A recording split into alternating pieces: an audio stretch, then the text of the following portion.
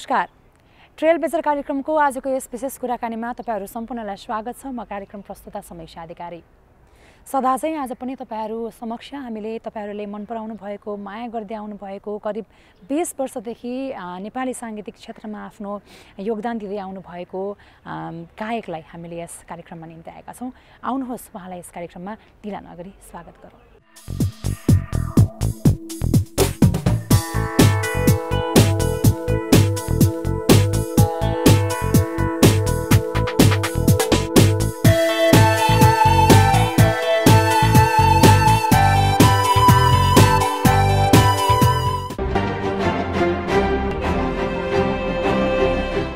कार्यक्रममा स्वागत छ धीरजजी। धेरै धेरै धन्यवाद थ्याङ्क यू सन्चै हुनुहुन्छ?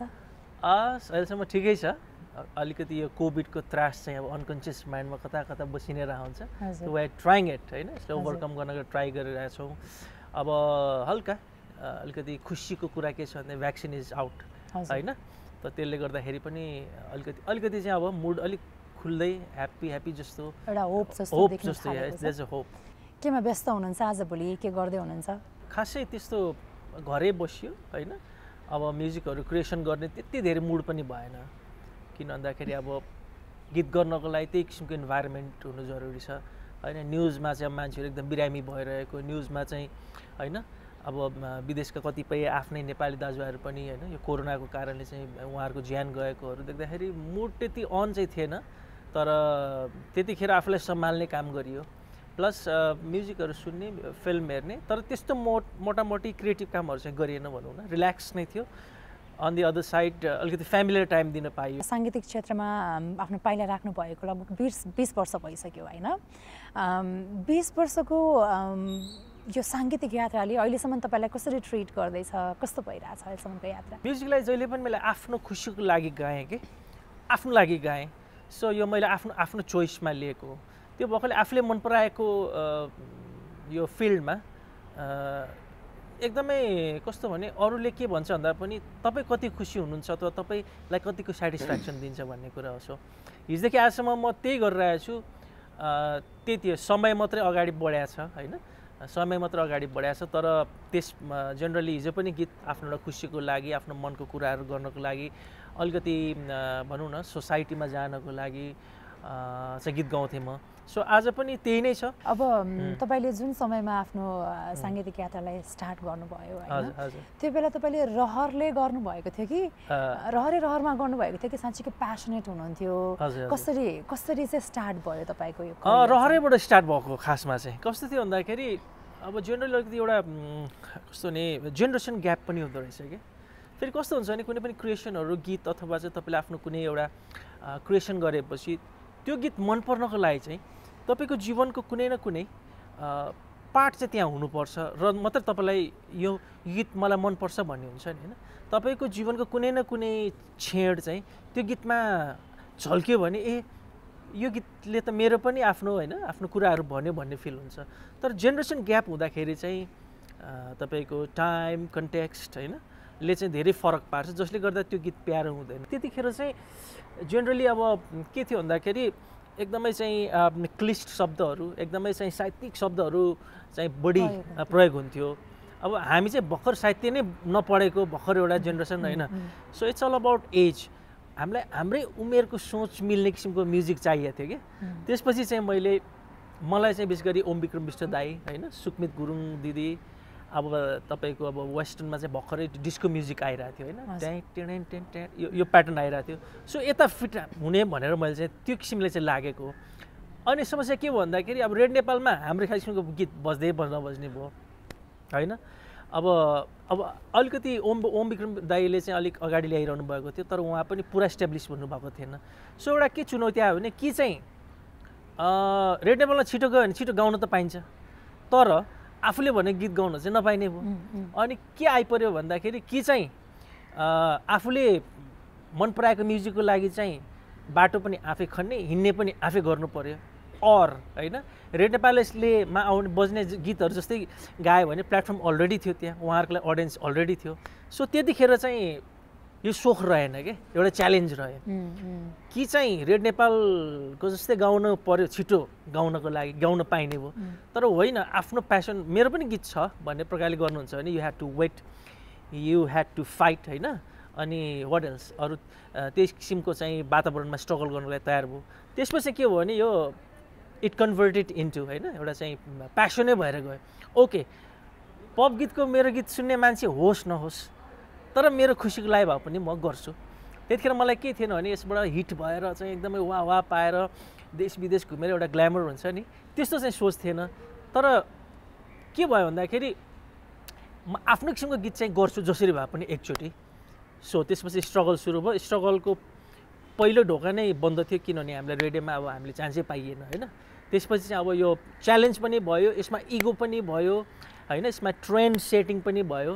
त्यसले गर्दाखेरि यसमा विशेषतः अब गाउने इच्छा रोकिएपछि त्यसलाई कसरी अगाडि बढाउने भन्ने च्यालेन्ज प्लस प्यासन प्लस अब स्ट्रगल गर्दै पनि मजै थियो क्या किन भन्दाखेरि स्ट्रगल गर्नुको पनि एउटा छुट्टै मजा हुन्छ नि होइन?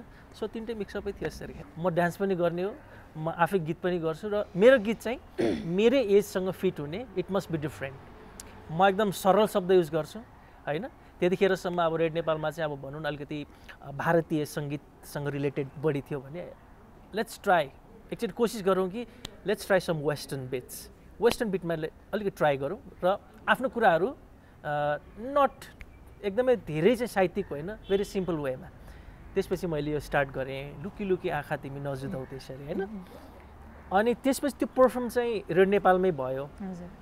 र त्यतिखेर चाहिँ मलाई फिल भयो कि अब मेरो मैले कुन बाटो लिनुपर्ने भयो कि म ब्याक सरेर जानुपर्ने भयो कि अगाडि नै जानुपर्ने भनेर मैले त्यतिखेर आफूलाई दाँजेँ क्या अनि रेड नेपालकै त्यही कार्यक्रममा चाहिँ दुईजना डान्सर साथीहरू थियो। अनि गिटार बजाउने साथी पछाडि थियो। सिम्पल एउटा नमुना मात्रै थियो होइन? अनि त्यतिखेर चाहिँ अब त्यतिखेर चाहिँ बेली बटन प्यान्टको भर्खरै पुरानो चाहिँ रिभाइभ भएको थियो। सो बेली बटन प्यान्ट चाहिँ हामीले कसरी बनाउँथ्यौँ भने अब ओरिजिनल बेली बटन प्यान्ट चाहिँ एकदम महँगो हुन्थ्यो। त हामीले के गर्थ्यौँ भने यस्तो प्यान्टलाई चिरेर अनि रुमाल हालेर चाहिँ बेली बनाउँथ्यौँ क्या। सो त्यो एउटा नयाँ प्रयोग थियो। त्यसपछि हजुर हजुर हजुर। भुवन केसी दाइले मात्रै डिङ्गो लाउनुपर्छ भन्ने थियो त मैले होइन म लाउँछु भनेर आई स्टार्टेड वेयरिङ बोट्स होइन। त्यसो इट वाज भेरी न्यू र अलिकै फरक गर्ने चलन स्टार्ट गरेँ। तर अनि लुकी लुकी भन्ने गीतसँगै अब के भयो भन्दाखेरि टाइम चेन्ज होइन। अब त्यसपछि एउटा यस्तो समय कि आयो कि अब रेड नेपाल मात्रै रहेन। नेपालमा प्रजातन्त्र आयो। सबैले बोल्न सबैले गाउन पाउनुपर्छ भन्ने अधिकार पनि भयो। तपाईँले अरू पनि इन्टरभ्युजहरूमा भन्नुभएको छ तपाईँलाई एकदमै इन्ट्रेस्ट थियो एक्टर बन्नलाई भनेर होइन? एक्टर बन्ने रहर कहाँसम्म पुग्यो अनि कसरी अहिलेसम्म के भइरहेछ? अझ पनि सोच्नु भएको छ कि मुभीमै जान्छु भनेर अहिलेसम्म त्यो रहर छ कि? यस धेरै समय खासमा चाहिँ म अब यस्तै हो। अब आई वाज भेरी क्युरियस होइन? अब म चाहिँ मलाई नाम मान्छेले चिनोस् होइन? अनि फेरि कस्तो भने अब कतिपय कुराहरू चाहिँ यो जन्मिँदै आउँछ क्या गीत गाउनुपर्छ भनेर सिकाएको पनि होइन आई लभड म्युजिक होइन। चलचित्रमा हेर्दा पनि अब अब होइन त्यो रुएको आक्रोशको त्यो हुन्छ नि त्यो मुभमेन्टहरू मलाई मनपर्ने होइन। समवाट अलिकति आर्टको चाहिँ केही जरा ममा थियो होला। त्यसपछि मलाई एकचोटि हिरो बन्ने चाहिँ रहर कहाँबाट लाग्यो भन्दाखेरि अब हिरोमा चाहिँ हिरोको चाहिँ अब ग्ल्यामर ठुलो नि। अब त्यतिखेर चाहिँ पप स्टारहरू स्टार जस्तो थिएन कि? स्टार जस्तो हुनको लागि चाहिँ फिल्ममै हुनु पर्थ्यो होइन? कोही पनि चाहिँ एउटा चाहिँ ठुलो मास चाहिँ चलचित्रको हिरोको पछाडि मात्रै कुदेको देखिन्थ्यो गायकको पछाडि कुदा देखिँदैन थियो। मलाई अब हिरो बन्नु पऱ्यो मलाई त्यसरी नै चाहिँ मान्छेले कुद्नु पऱ्यो त्यतिखेर पन्ध्र सोह्र वर्ष बच्चाको एटिट्युड थियो। त्यसपछि मैले एक्टिङ पनि सिकेँ। त्यसपछि मैले धेरै नाटकहरू पनि खेरेँ र त्यतिखेर भर्खरै भिडियो फिल्महरू आउँदै थियो। वेरेज चलचित्रको पर्दा चाहिँ मा चाहिँ वर्षमा वान्स अ इयर वर्षमा एउटा फिल्म हुन्थ्यो। त्यो पनि कि त शिव दाईकै हातमा जान्थ्यो शिवश्रेष्ठ दाईकैमा कि चाहिँ अब भुवन केसी दाईकोमै जान्थ्यो। अब मलाई अझ होप थियो उहाँहरूसम्म भइन्जेल तर ठ्याक्क राय समाल आएपछि त्यो मेरो सप सपनै चक्ना सुरु भयो क्या। किनभने राय समाल दाईले त हिरोको परिभाषै चेन्ज गरिदिनु भयो छ फुट कम्तीमा चाहियो। होइन? सिक्स प्याक चाहियो। अनि तपाईँको भोइस पनि एकदमै चाहिँ भोइस चाहियो नि त। चाहियो हो, होइन? यसो हेरेँ मसँग त्यो केही पनि थिएन। अब मलाई के सोचेँ भने यसरी चाहिँ यो चाहिँ हिरो बन्ने लोभमा लाग्यो भने चाहिँ बुढेसकालतिर पनि हिरो चाहिँ भइँदैन। एउटा केही अभिनेता चाहिँ भइन्छ भनेर लाग्यो। सो एक एकचोटि सुन्दा हाँस उठ्छ पनि। So it was all like that त्यसपछि मैले चाहिँ अब अब चलचित्रमा म हुँदिनँ फिट हुँदैन भन्ने मलाई फिल भएपछि त्यसपछि आई थिङ्क मलाई म्युजिकले नै गीत नै ठिक हुन्छ कि क्या भन्नु मलाई मैले त्यहाँ ट्राई गरेँ। सायद गीतमा पनि चाहिँ फिट नभएकोमा भए म डान्सरै हुन्थेँ होला। तर जे होस् अब लक पुल्ड मी र अब मैले भनिहालेँ अब चाहिँ फेरि कस्तो भने अब अहिलेसम्म चाहिँ दुई तिनचोटि यो दुई तिन वर्ष अगाडिसम्म पनि धेरै उहरूले चाहिँ एउटा म्युजिकल फिल्म बनाऊ भन्ने धेरै साथीले पनि कुरा गरिरहनु भएको थियो। तर मैले चाहिँ अहिले किन गरिरहेको छैन भने एउटा it's a complete different world होइन? अभिनय त्यति सजिलो छैन जति म गीतमा छु। सो मलाई के लाग्यो भने आम फिट मलाई I'm satisfied being a singer rather than an actor अब तपाईँ त काठमाडौँ बाहिरबाट एउटा आउटसाइडरको रूपमा चाहिँ काठमाडौँ पढ्न भनेर आउनुभएको थियो होइन। तपाईँ आफ्नै स्ट्रगलिङ फेजमा हुनुहुन्थ्यो भर्खरै भर्खरै म्युजिकलाई चाहिँ म्युजिकलाई अगाडि लिएर जाने बेलामा तपाईँ आफ्नो स्ट्रगलिङ फेजमा हुनुहुन्थ्यो। त्यति बेला त फाइनेन्सियल प्रब्लम पनि थियो होला होइन भर्खरको स्टुडेन्टहरूलाई त फाइनेन्सियल प्रब्लम पनि हुन्थ्यो होला। त्यति बेलाको समयलाई कसरी म्यानेज गर्नुभयो? म्युजिकलाई सँगसँगै आफ्नो भनौँ न पर्सनल लाइफलाई फाइनेन्सियली चाहिँ कसरी म्यानेज गर्नुभयो?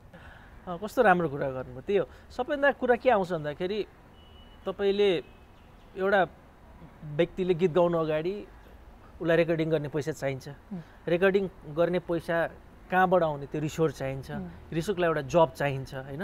जबमा पनि कति पैसा आउँछ? कति चाहिँ बचाएर तपाईँ रेकर्ड गर्न सकिन्छ? त्यो आउँछ होइन? यसरी नै त यो बढ्दै जाने हो नि होइन? त अब मलाई सबभन्दा त्यतिखेर गाह्रै त्यही भयो।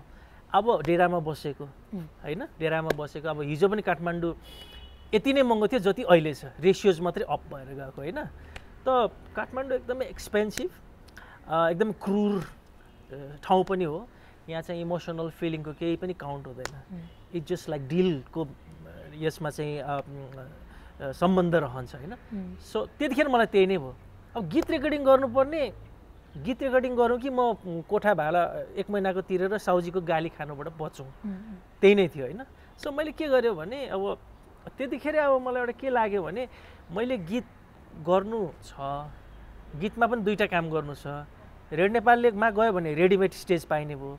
पप सङ्गीतमा गयो भने त खन्नु पनि पऱ्यो आफै हिँड्नु पनि पऱ्यो फेरि पपको लागि फ्यान्सहरू पनि तयार भएको थिएन। हामीले त नयाँ फ्यान बनाउँदै तिनीहरूलाई खुसी बनाउँदै जानुपर्ने। एउटा लङ वे थियो नि त। त्यतिखेर मैले के फिल भयो भने काठमाडौँमा बस्नु छ भने अथवा गीत गाउनु छ भने मैले मलाई एउटा राम्रो जागिर चाहिन्छ। त मैले के गरेँ मेरो एसएलसीमा राम्रो थियो त्यतिखेर। त्यतिखेरै सेभेन्टी टू पर्सेन्ट ल्याएको मैले होइन? त्यतिखेर त बोर्ड भन्ने चलन थियो। अनि मैले के गरेँ भने मलाई छिटो कमाएर छिटो छिटो पढेर छिटो कमाएर छिटो गीत रेकर्डिङ गर्नुपर्ने अवस्था आयो कि त्यसपछि मैले इन्जिनियरिङ छाने।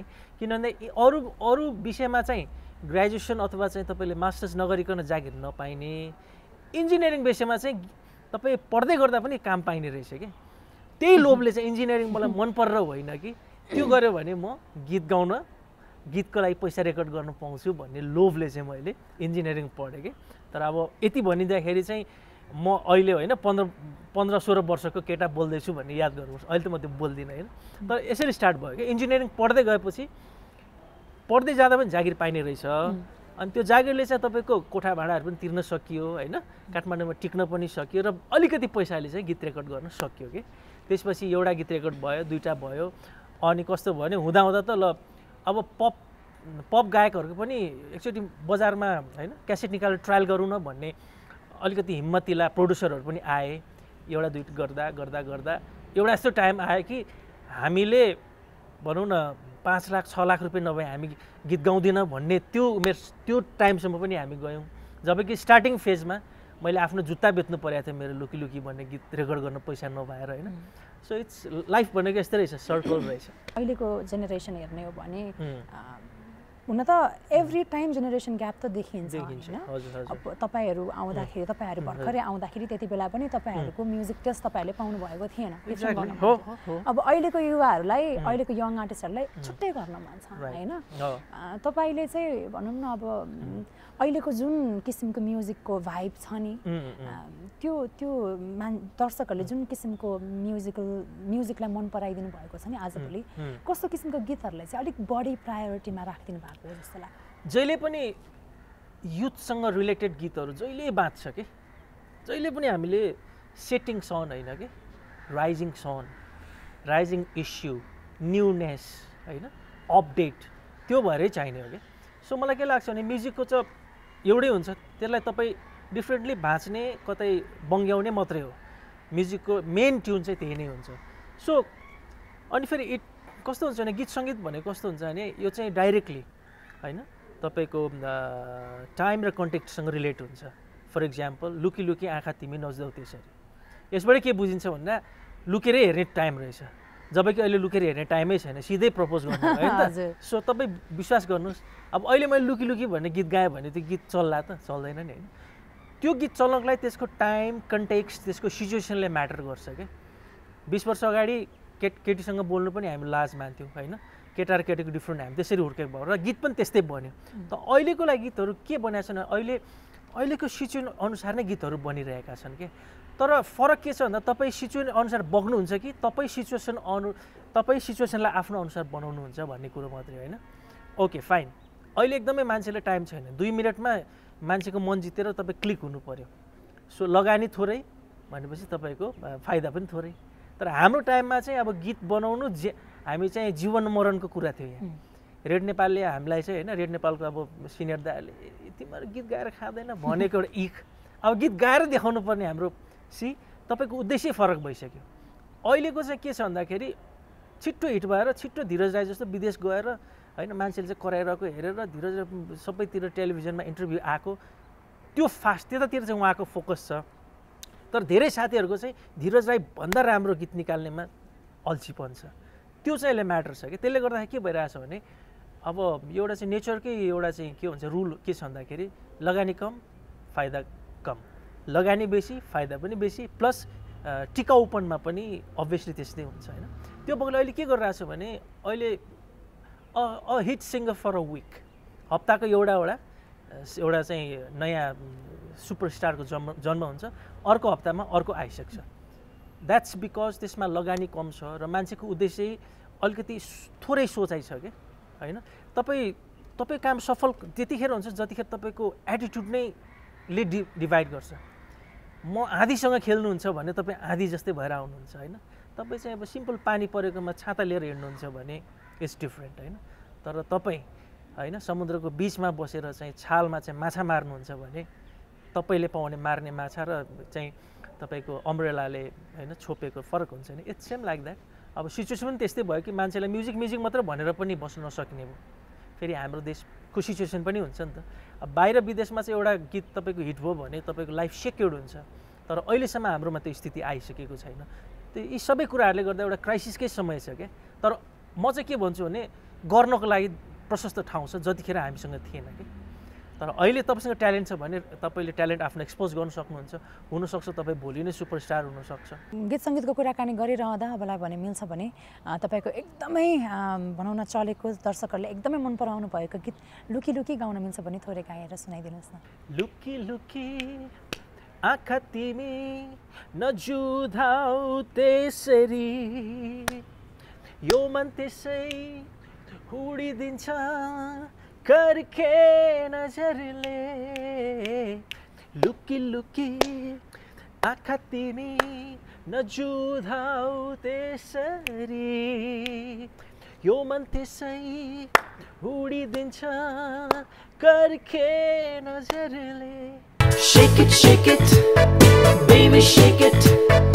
One, two, one, two, three, go! Looky,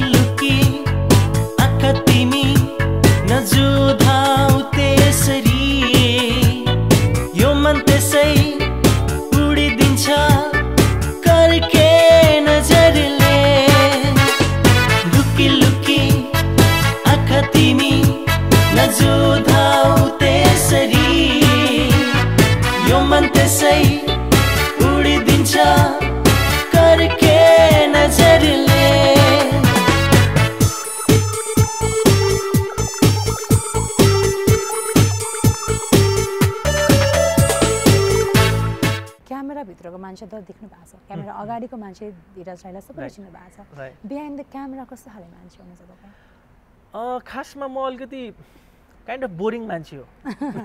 धेरैले बोरिङ भन्छ। इन द सेन्स कि अलिकति बढी कल्पनाशील छु। मोर यो एक्सटर्नल एक्जिस्टिङ वर्ल्डभन्दा पनि अरू अरू वर्ल्डमा कल्पना गर्न मन लाग्छ। नेचर लभर हो। अलिकति लोनलिनेस पनि मनपर्छ भेरी सेलेक्टेड फ्यु फ्रेन्ड्स अनि ट्राभलिङ चाहिँ एकदम मलाई मनपर्छ। अ, त्योदेखि बाहेक खानामा कम्प्लेन छैन। अ, तर मलाई ट्राभलिङ चाहिँ एकदम मनपर्छ र मैले भनौँ न कार्यक्रमको एउटा इट्स माई लक संसारको धेरै आइकोनिक प्लेसेसहरू म ट्राभल गरिसकेको छु होइन? सो ट्राभलिङ चाहिँ मेरो एकदम ठुलो प्यासन हो होइन। तपाईँको इसा इटलीको पिसा टावरदेखि लिएर क्यानाडाको होइन? नाइग्रा फल्सदेखि लिएर आएर चाहिँ तपाईँको भेनिसदेखि लिएर चाहिँ जो संसार धेरै घुमेको छु। सो मेरो ट्राभलिङ प्यासन छ त्योदेखि बाइक चाहिँ आइम भेरी इजी गोइङ मैले भनिहालेँ खानामा कम्प्लेन छैन। एकदमै चाहिँ रमाइलो एकदमै आनन्दमय टाइपको नै छु म। नामअनुसारकै छु। अब अहिलेको सिनारियो हेर्ने हो भने त म्युजिक भिडियो कसरी सुट हुन्छ होइन? कसरी भनौँ न एउटा टिम वर्क कसरी गरिन्छ सबै कुरा बिहाइन्ड द सिनमा भनौँ न युट्युबहरूतिर प्रशस्त रूपमा पाइन्छ हेर्न सकिन्छ। तपाईँहरूको जमानामा चाहिँ तपाईँहरूको पालामा जुन जमानामा तपाईँले आफ्नो अ, भनौँ न करियर स्टार्ट गर्नुभयो त्यति बेला चाहिँ कसरी म्यानेज गर्नुहुन्थ्यो? टिम कसरी बनाउनुहुन्थ्यो? सुटिङ्सहरू कसरी हुन्थ्यो? त्यस विषयमा पनि केही भनिदिनु न। क्यामराम्यान अथवा भिडियो मेकरहरू थियो हामी जस्तै नयाँ खोजिरहेको होइन? अब कुनै एउटा समय थियो कि क्यामेरा हल्लायो भने त्यो गलत हुन्थ्यो होइन? तर अब अहिले समय के आएको छ भने जति क्यामेरा हल्लायो जति त्यसलाई आर्टिस्टिक लेभलमा तर क्यामेरा हल्लाउनु भनेर इन अ सेन्स ड्याङड्युङ हल्लाउनु भन्दा पनि एउटा त्यसमा पनि एउटा कला हुन्छ नि होइन? त्यो प्रकारले चाहिँ त्यो त्यसको डेफिनेसनहरू पनि चेन्ज गर्दै आउने भिडियो मेकरहरू पनि आउँदै गयो कि? सो अब त्यतिखेर चाहिँ म सम्झिन्छु कि हाम्रो विजय उदय पालपाली हाम्रो नेपाल टेलिभिजनकै हुनुहुन्छ। र हाम्रो नेपाल टेलिभिजन भने हाम्रो मिडियाको हाम्रो एउटा चाहिँ अभिभावक पनि हो। उहाँहरूबाटै हामीले आफ्नो म्युजिक पनि गरेँ। रोशन प्रताप राणा दाई आएपछि चाहिँ it was different Roshan Pratap Rana दाई पनि अब हामी जसरी नयाँ सोच्ने नयाँ केही गरौँ भन्ने हुनुहुन्थ्यो। त्यसले गर्दाखेरि क्यामेरा मुभमेन्ट पनि फरक भयो। त्यसपछि क्यामेरा मुभमेन्ट सँगसँगै कलाकारलाई पनि मुभमेन्ट गर्न फ्री भयो। जब कि त्योभन्दा अगाडि चाहिँ नचलिकन बस्ने होइन टक्क लाएर बस्ने सोबर ड्रेस लगाउने मैले अहिले पनि भनिहालेँ नि। त्यस्तो त्यो फ्ल्यासी ड्रेसहरू लाउने होइन गायकले होइन एकदम जेन्टल देखिने त्यस्तो थियो। वाइरस त्यसपछि अब विशेष गरी रोशन प्रताप राणा भूषण दाहाल दाई भनौँ न यो ग्याङ नयाँ आइसकेपछि त्यसपछि यो भिडियो मेकिङमा पनि अलिक डिफ्रेन्ट हुँदै गयो। अनि डिफ्रेन्ट हुँदै गएपछि के भन्दाखेरि अलिक महँगो पनि हुँदै गयो होइन? फिल्ममा मात्रै खर्च गर्ने भन्ने चलन थियो। त्यसपछि सानो पर्दामा पनि हुँदै गयो। र त्यसपछि डिफ्रेन्ट हुँदै पनि आयो र म्युजिकमा चाहिँ अलिकति पैसा पनि आउन थाल्यो क्या। पैसा आउँदै गएपछि मान्छेले भिडियो पनि अलिक खर्च गर्न सक्ने भयो। त भिडियोमा अलिक म्युजिक खर्च गर्न सकेपछि त भिडियो केही न केही क्वालिटेटिभ राम्रै हुन्छ। अब मोडलहरूलाई पे गर्न सक्ने पनि एउटा टाइम आयो। त मोडलको इन हुने बित्तिकै भिडियो रिच हुने नै भयो। सो यो क्रमशः यसरी नै बढ्दै आइरहेको छ. स्टार्टिङ फेजमा उहाँहरूको रियाक्सन कस्तो थियो र अहिलेसम्म आइपुग्दा कति चेन्जेस। आएको छ? मम ड्याडले के भन्नुहुन्थ्यो भने अब तिमीलाई छिटो गीत गाउनु छ भने त रेड नेपालकै टाइपको गाएर गयो हुन्छ। अथवा होइन तिम्रो आफ्नो स्वाभिमान हुन्छ नि मान्छेको आफ्नो इगो हुन्छ नि। मेरो खालको गीत गाउँछु म होइन। त्यस्तो गाउने हो भने त्यो भविष्य आउँछ आउँदैन वी डोन्ट नो तर तिमीलाई चाहिँ दुईवटा कामको जिम्मेवारी छ होइन। बाटो खन्नु पनि छ बाटो बनाउनु पनि छ बाटो हिँड्नु पनि छ। त्यो भएकोले तिम्रो चाहिँ एकदम फ्युचर अनसर्टेन छ तर होइन? जहिले पनि मिराकल भन्ने कुराहरू हुन्छ नि होइन? इट ह्यापन्स नि त। त्यो भएकोले गर्दाखेरि तिमीले म्युजिकलाई प्रोफेसन बनाउन चाहिँ सक्दैनौ। केही न केही राम्रो पढाइ चाहिँ गर्नु जागिरको लागि चाहिँ राम्रो हुन्छ भनेर। पढाइ नछोड्नु भन्ने प्रकारले चाहिँ गर्नुभयो तर हिजो पनि अहिलेसम्म पनि उहाँले म्युजिकलाई नराम्रो पनि ठान्नुहुन्न होइन? र उहाँहरूले चाहिँ अब अरूले चाहिँ सफल भएको देख्छन् होइन तर उहाँहरूले चाहिँ तिम्रो इच्छा पुग्यो भन्नुहुन्छ क्या? किन भन्दाखेरि मैले यसबाट चाहिँ विदेश गएर चाहिँ होइन भन्नुलाई कमर्सियल यसलाई अगाडि ल्याउँछु भन्ने सोचे पनि थिइनँ so they were it's same पहिला पनि पोजिटिभ नै हुनुहुन्थ्यो अहिले पनि पोजिटिभ नै हुनुहुन्छ। तर जे होस् अब जुन प्रकारले एउटा चाहिँ मान्छेले एउटा चाहिँ स्टेटस मान्छेले तपाईँलाई चिन्छ होइन?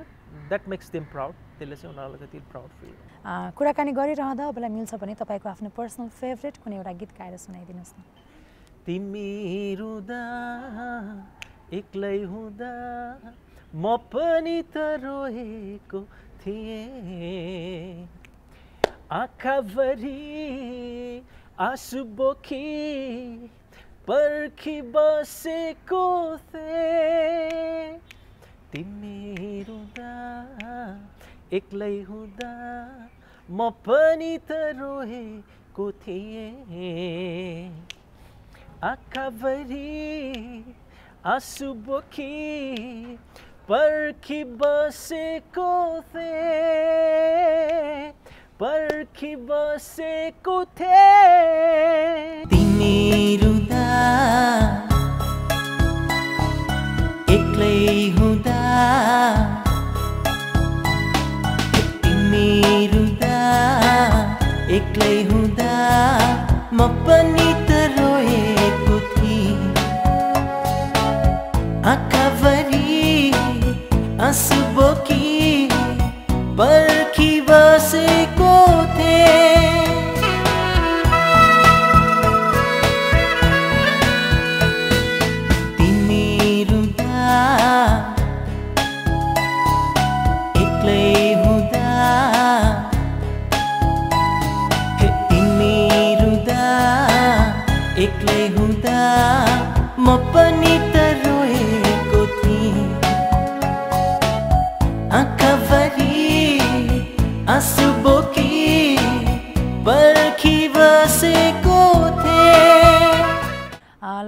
हामी कार्यक्रमको अन्त्यतिर आइसकेका छौँ। जानुभन्दा अगाडि दर्शकहरूलाई र सँगसँगै साङ्गीतिक क्षेत्रमा म पनि आफ्नो एउटा करियर बनाउँछु भनेर अगाडि बढिरहनु भएको युवाहरूलाई चाहिँ केही भन्न चाहनुहुन्छ भने भन्न सक्नुहुन्छ। अब सबभन्दा पहिला तपाईँको कार्यक्रमलाई होइन म धेरै धेरै धन्यवाद दिन चाहन्छु कार्यक्रम युनिट होइन। योभन्दा अगाडि पनि मैले तपाईँलाई कुरा गरेँ धेरै एपिसोडहरू राम्रो छ भेरी इन्ट्रेस्टिङ छ है। किप इट अप र अब अर्को चाहिँ विशेष गरी युथहरूलाई चाहिँ म त्यही भन्न चाहन्छु एकदम स्पष्ट छ मेरो कुरा। लगानी थोरै त त्यसबाट आउने तपाईँको फाइदा पनि थोरै नै हुन्छ। So it depends on you होइन? तपाईँ म्युजिकलाई कसरी लिनुहुन्छ? एकछिन फनको रूपमा पनि लिन सक्नुहुन्छ है? अथवा चाहिँ होइन यसलाई म प्यासन बनाउँछु। यसलाई चाहिँ म बनाएर चाहिँ एउटा चाहिँ म आफ्नो चाहिँ सोलबाट गाएर चाहिँ संसारलाई खुसी पनि बनाउन चाहन्छु होइन? अब कसरी हिँड्नुहुन्छ इट डिपेन्ड्स अन द्याट होइन? र म के भन्न चाहन्छु भन्दाखेरि तर म के भन्छु भने म्युजिकलाई एकदमै म्युजिक भनेको यस्तो कुरो हो कि यो ब्याकफायर गरिहाल्छ क्या नराम्रो मनबाट लाग्यो भने। म किन भन्दैछु भने त्यस्ता धे त्यस्ता नै युवाहरू धेरै फ्लप छन् जोस जोसँग चाहिँ उसलाई चाहिँ तपाईँको एक्सटर्नल अचिभमेन्ट चाहिँ चाहिएको छ नट इन्टरनल अचिभमेन्ट होइन। हामी गीत मन खुसी हुनको लागि गाउँछौँ। तर त्यस्ता धेरै गायकहरू असफल देख्छु जो चाहिँ खुसी हुनुभन्दा पनि विदेश जान चाहिँ कुनै एउटा चाहिँ स्टार जस्तो चाहिँ स्टारिजम छिटो हुन। त्यो एकदम। एकदमै एकदमै ल्याभिस लाइफ र चाहिँ त्यो नर्म्स एन्ड भ्यालु चाहिँ म्युजिकको होइन कि?